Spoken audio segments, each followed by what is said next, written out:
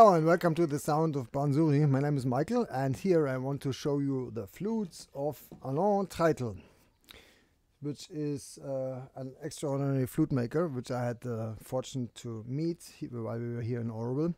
And um, yeah, I just want to, the flute that you heard was uh, this one here and this is how it sounds without any reverb or any processing.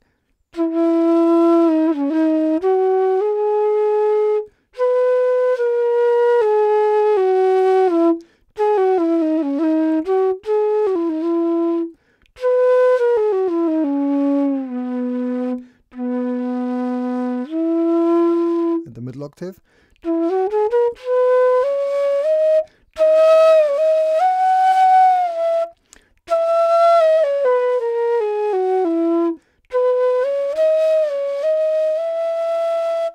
Yeah, the higher octaves.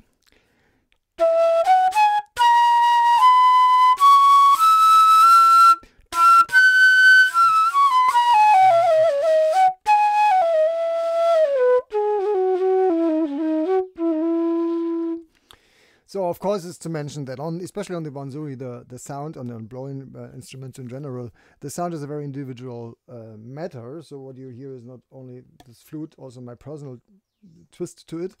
Uh, but what I find really stunning about this flute in particular and the flutes, and I show you others from Alon Treitel as well, they are really they have a character and uh, you can modulate the sound. Uh, I think quite more than on on other flutes.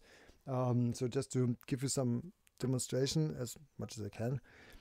I can go for this mellow thing.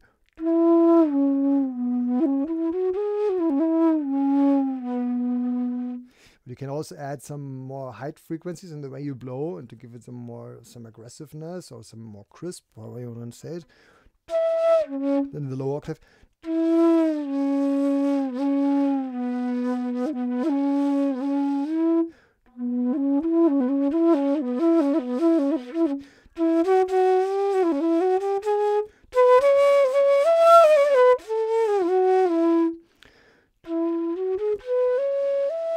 The mellow middle octave.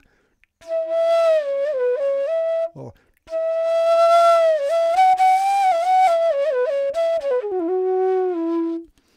So this one was actually a special made one. I had the fortune to choose the bamboo by myself. I choose a quite thicker one. This one would have been used for a D flute, and this is an Hindustani E flute. And I also fine-tuned it by myself um, which ended up in quite bigger holes. and also I raised the calibration to a certain degree I wanted to have. I don't mind bigger holes and I actually appreciate them um, as big as they can be just to get them uh, closed. For playing half notes and to be versatile with the meats, I think they are not, have an advantage. And I also think they have an advantage for the sound. So what I found out is that when you open them more uh, to the back, this will open up the sound but this edge of course defines the length of the column. So when you tune them up you open them in this way. Um, generally flute makers they open all evenly in the, all, all the same directions. But I think this is just due to this discovery that I made by spending so much time tuning flutes over the last year that and especially this one I took a long time to fine tune that slowly slowly. Uh, so opening those holes opened also the sound. There's another one from Alon Treitel another E which is quite a different animal to me.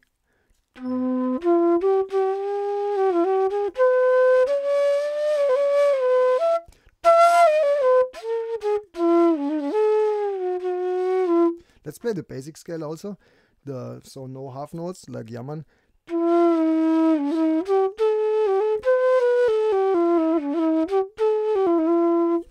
Has a different character, no?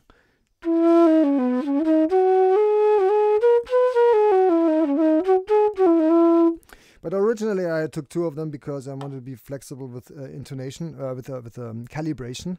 Um, as you know, these are one piece of bamboo. You cannot tune them. So this one is higher than this one in the calibration. And this has for me a more female touch.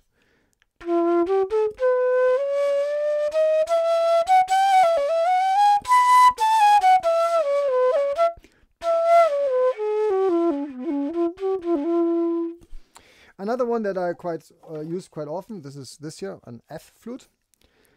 Hindustani F. That means this is good for playing Western music uh, because it's a C major scale, the default scale without no half notes.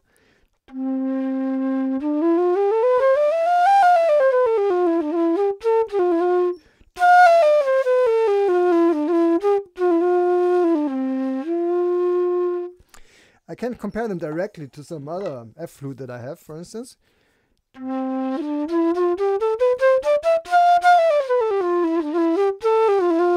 Also a decent flute.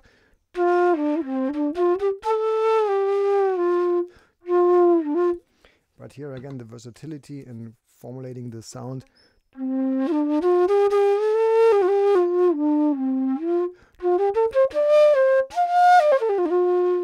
So I think clearly Alon's flutes, I love them. They have a very special um, quality in generating sound.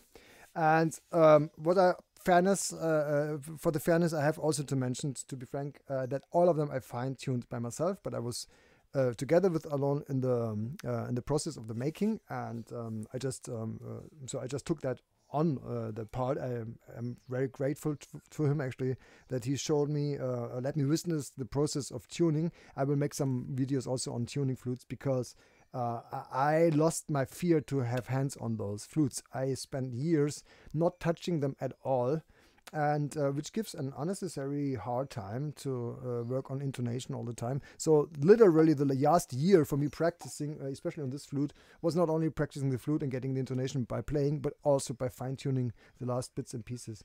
And I do not only play the Hindustani music on them, I also play Western music on them. And I wanted to get them ready for being able to be played in 12 keys with most ease. So you end up having the necessity for the equal temperature system. But this is another topic for another video. I found even the equal temperature system on the flute also quite good if you want to go for the more authentic intonation for the Indian music, because the equal temperature is just in the middle of those two swaras that you have to be flexible to choose, or even more of them.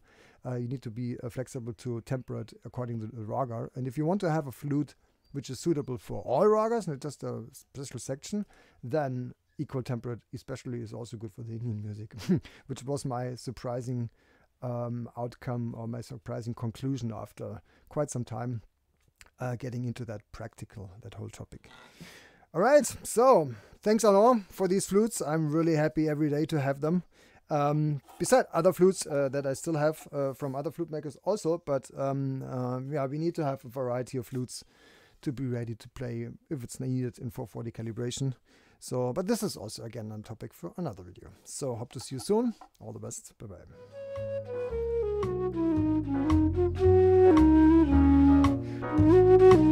bye.